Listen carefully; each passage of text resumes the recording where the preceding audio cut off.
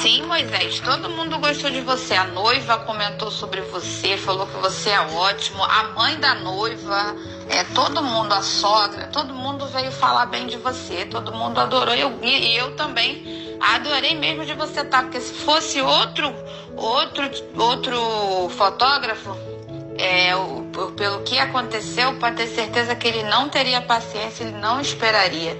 Eu tenho certeza disso pelo pelo que eu vejo aí. Eu queria também te agradecer em nome do salão, em nome da, da gente, né?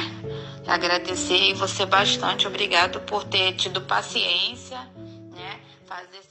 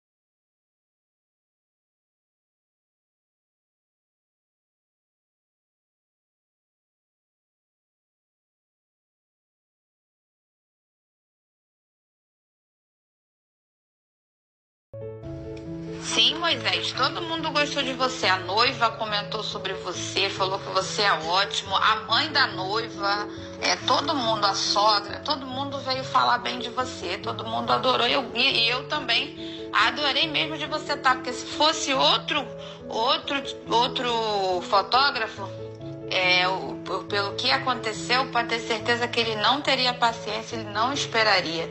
Eu tenho certeza disso pelo pelo que eu vejo aí. Eu queria também te agradecer em nome do salão, em nome da, da gente, né? Agradecer você bastante. Obrigado por ter tido paciência, né? Fazer seu trabalho com perfeição aqui junto com a gente. Muito obrigada mesmo, tá? Bem, amigo, é muito importante que você faça o seu trabalho com dedicação, com amor, se dedique ao máximo, se entregue nos detalhes não tenha pressa de fazer o que você faz. Chegue cedo, entendeu? Chegue cedo, faça com detalhes, tire quantas fotos forem necessário. Não se preocupe em ir embora. Isso é um problema que todo fotógrafo tem é, se manifestado em eventos. Ele fala que é quatro horas, e ele não fica 10 minutos a mais. Então comigo não tem esse problema. Eu fico a necessidade que tiver. De certa forma, eu chego no horário devido, que é uma hora antes, e saio no final do evento.